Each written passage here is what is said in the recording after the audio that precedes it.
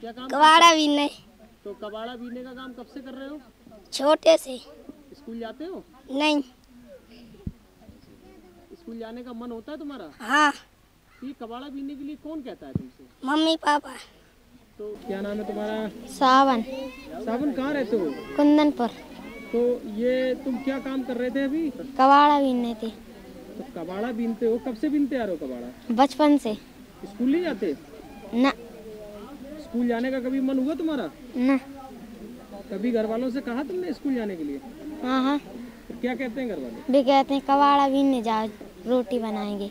अच्छा तो घर पर कौन गाँव में कितनी आबादी है?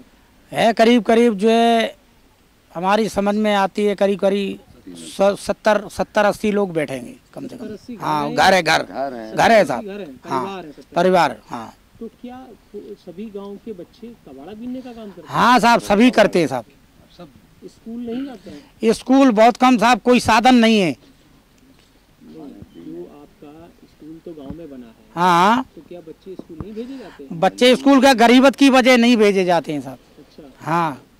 स- कितने बच्चे लगभग आपके यहाँ से कबाड़ा बीनने के लिए जाते हैं? यहाँ से कम से कम होंगे पचास साठ होंगे साहब। पचास साठ बच्चे हाँ? छोटे छोटे से बच्चे छोटे छोटे से हैं बड़े बड़े भी हैं साहब। अच्छा। हाँ। तो कबाड़ा अभी आज तक का जो है एक लाख चौबीस हज़ार एक सौ तीन बच्चों का नामांकन हो गया है। जी।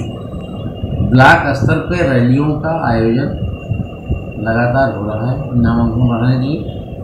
और उसमें हमको सफलता भी मिली है। लगभग छः हज़ार नामांकन।